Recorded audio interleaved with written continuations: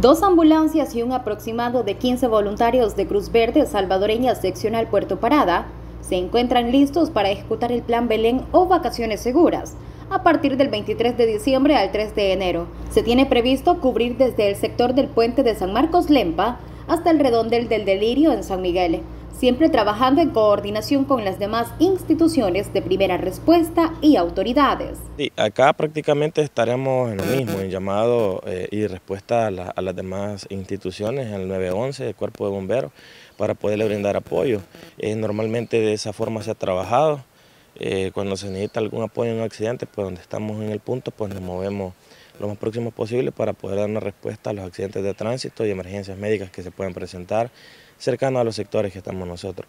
Cruz Verde ya envió el plan de trabajo a Protección Civil, con el objetivo de tener un nivel alto de respuesta ante cualquier emergencia que se pueda presentar. Eh, hay números de contacto, se crea eh, el nivel de respuesta de las instituciones en, el área que vamos a estar, en los puntos donde vamos, a estar ubicados y de esa forma poder dar respuesta. Eh, por ejemplo, nosotros nos ubicamos más que todo en los bypass de Usulután, en el redondel de salida San Salvador y salida a San Miguel. Y en los puntos pues, donde se presente la emergencia, el 911 nos informa a Protección Civil y nosotros damos respuesta a los puntos más cercanos hasta la unidad. Para esta temporada de Navidad y fin de año, Cruz Verde emite las siguientes recomendaciones a la población.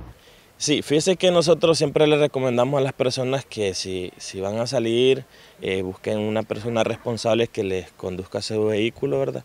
Eh, no personas que vayan a estarse poniendo ebria, ¿verdad? Entonces una persona responsable que les conduzca el vehículo, que, vaya enfocado a lo que va, ¿verdad? Y, y puedan disfrutar de la mejor manera, si visitan las playas puede hacer caso a las instituciones que van a estar ahí, pues protección civil, todas las recomendaciones que se le hace, no exceder los límites de velocidad, ¿verdad? Y de igual forma, pues solicitamos apoyo para las ambulancias, pues que los vehículos puedan ceder el paso también, porque muchas veces eso existe, llevamos unas vidas pues que, que salvar y, y el tiempo es prioridad para nosotros. Con imágenes de Alberto Portillo, Stephanie Cruz, Impacto Noticias.